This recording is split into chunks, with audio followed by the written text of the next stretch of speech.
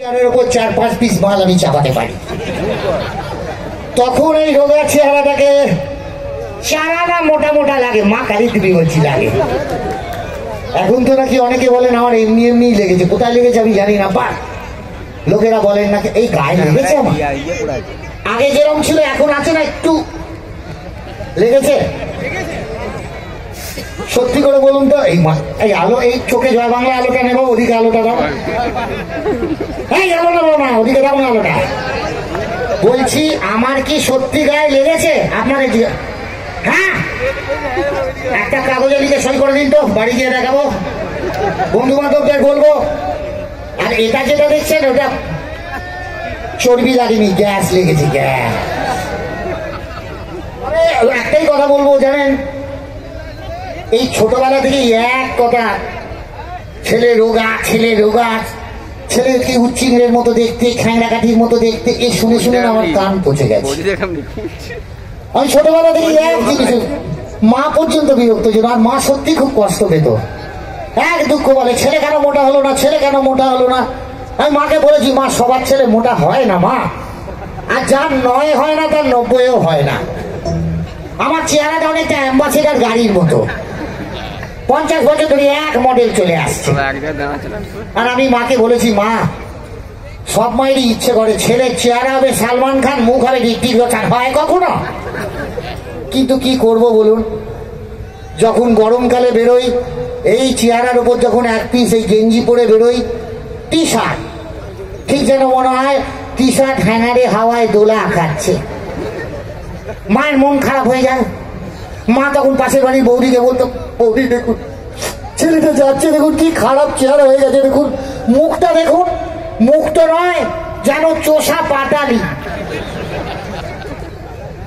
আর যেই শীতকাল পড়তো, এই চেয়ারের উপর তিন চার পিস পরে বেরোতাম, যখন আমার চারানা মোটা মোটা লাগতো, মায়ের মনটা হ্যাপি হয়ে যেত। ওখানে চিৎকার করলেও যাব না রে অনেকবার গেছি চুপ করে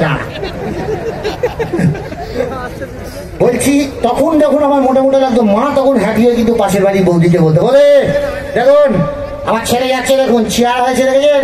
আহা, চেয়ারা তো নয় যেন, নাড়ু গোপাল কিন্তু কি করব বলুন?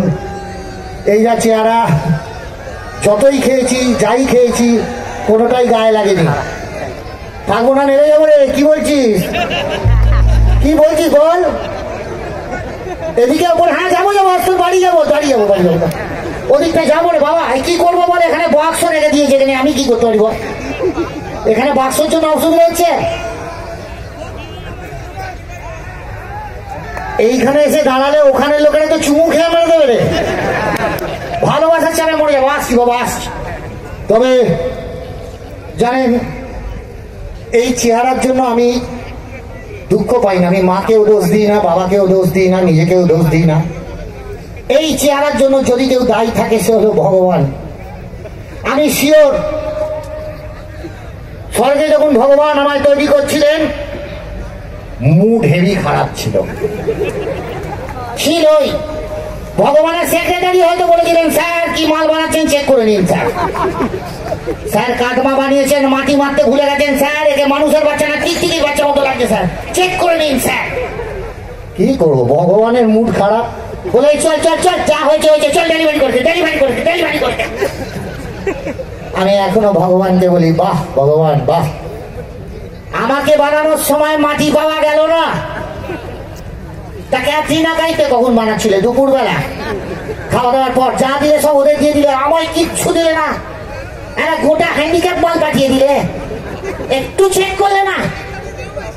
কি বলব? দেখুন একটা নাক, এটা নাক। ঠিক মনে হয় একটা সারাশি সামনে দোলা খাচ্ছে একটা কোমর দিয়েছে, আঠাশ সাইজ আর তো আমরা মরার বয়স হয়ে গেল, এবার বলছে গায়ে লেগেছে। হাফ ইঞ্চি পারেনি কি সুন্দর দুটো কান ছিল, ভাবতে পারবেন না। দুটো অঙ্কের মাস্টার পেছনে লাগিয়ে দিল। ও, বলে রাখা ভালো। ছোটবেলা থেকেই না আমি অঙ্কে বিরাট খারাপ। আমার বাবা বলেছিলেন, কাঞ্চন, মাধ্যমিকে যদি অঙ্কে চল্লিশ পাও, প্যান্ডেল বেড়ে লোক খাওয়াবো। ভয় নেই, আমি বাবাকে সে পয়সা খরচা করতে দিইনি। আর কি খারাপ খারাপ অঙ্ক, আমার মাথায় ঢুকতো না। একটা চৌবাচ্চা তাতে নাকি ফুটো, সেখান দিয়ে নাকি জল বেরিয়ে যাচ্ছে। তা আমি কি করব? আমি স্যারকে বললাম, স্যার, দেখুন, এ তো আমার বাড়ির বাবা চৌবাচ্চা নয়, স্যার। স্যার, একটা রাজমিস্ত্রি রাখুন সিমেন্ট মারুন, ফুটো বন্ধ করে দিন দেখবেন জল বন্ধ হয়ে গেছে। ব্যাস, শুনলো না, কান ধরে বুঝিয়ে দিল। আর একটা কি অঙ্ক, সেটা কি হাওড়া থেকে বর্তমানে একটা ট্রেন আসছে, সেটা কি লেট করছে? তা আমি কি, ট্রেনের অফিসে চাকরি করি, আমি কি করে জানব লেট করছে কেন? একটা ছিল তৈলাক্ত বাসের ওপর নাকি একটি বাদর উঠিয়ে থেকে আবার হরকাইয়া নামিতেছে আমি বললাম, স্যার অবলাজি ও বুক ফুক ছড়ে যাবে, ওকে নামিয়ে দিচ্ছে। শুনলো না, কান ধরে মজে দিল মজরাতে মজরাতে অবস্থা করে দেখো একটা কান আমেদাবাদ, একটা এলাহাবাদ করে ছেড়ে দিয়েছে। এটা কান মনে হয় যেন চামড়ার ডিশ অ্যান্টেনা হাঁ করে আকাশের দিকে তাকিয়ে আছে। কিন্তু সত্যি কথা বলতে গেলে কি? আয়নার সামনে দাঁড়িয়ে দাঁড়িয়ে আমি হিসেব করে দেখেছি, সবাই আমায় যতই রোগা বলুক, এই চেহারায় আমি যা সুবিধে পাই, মোটা মানুষেরা তা পান না। মিলিয়ে দেখুন মে জুন মাস, গরমকাল দুপুর বেলা একটা মোটা মানুষ যখন রাস্তা দিয়ে হেঁটে যায়, ঠিক যেন মনে হয় একটা ভেজা পান্তুয়া হেঁটে যাচ্ছে, দেখবেন? আমাদের দেখুন, কোনো অসুবিধা হয় না। দেখবেন, অফিস টাইম ভিড় বা ঝুলন্ত অবস্থা, বাস এসে দাঁড়াল। মোটা মানুষ ডান দিক গলাতে গেল, বলল না পানি গলাতে গেল, বলল না, বাস ছেড়ে দিয়ে চলে গেল। আমাদের দেখুন, অফিস টাইম ভিড় বাস ঝুলন্ত অবস্থা, বাস এসে দাঁড়াল। আমি জয় বাবা স্পাইডার রড ধরে ঝুলে পড়লাম। তখন পা দিলাম দেখি দেখি দেখি ভেতরে ঢুকে গেলাম, অসুবিধা হলো না। আপনাদের আশীর্বাদে এই চেয়ারা মানে বর্ষাকালেও কোনো অসুবিধা হতো না। বৃষ্টি পড়তো, ছাতা লাগতো না, ফোঁটাগুলোকে পাশ কাটিয়ে কাটিয়ে, পাশ কাটিয়ে কাটিয়ে চলে যেতাম, গায়ে জল লাগতো না। ডাক্তারের খরচা কমে গেছিল। ডাক্তারের কাছে গেলে এক্স করতে হতো না। ডাক্তারবাবু টেনে এক্স ঘর নিয়ে যেতে, একটা পঁচিশ পয়েন্টের ডুম জ্বালিয়ে দিত।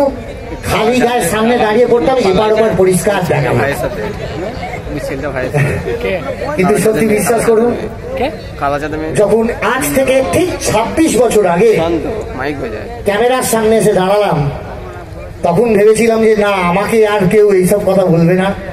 চেহারা তুলে কথা বলবে না, কিন্তু আমার কপাল খারাপ। এই